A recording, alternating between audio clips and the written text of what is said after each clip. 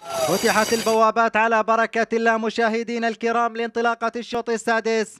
على كؤوس وهدية خادم الحرمين الشريفين يحفظه الله للخيال السعوديين المتمرنين. على مسافة الألفين متر سيارة إضافة إلى مبلغ ستون ألف ريال.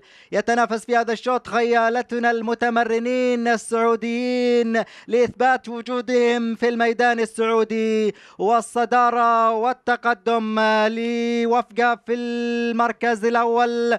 أم جبار يتقدم في هذه الانطلاقة المركز الأول لجبار وفخران في المركز الثاني وزهاب في المركز الثالث وأشقر أحمد في المركز الرابع والتنافس ما بين الخيال السعوديين المتمرنين على كؤوس وهدية خادم الحرمين الشريفين يحفظه الله في دعمه المتواصل لأبنائه الخيال السعوديين والصدارة لجبار ومحاولة محاولات من زهاف وأيضا فخران من الداخل وأيضا ولد براقة وأشقر أحمد وندى رضوان يتقدم في هذه اللحظات.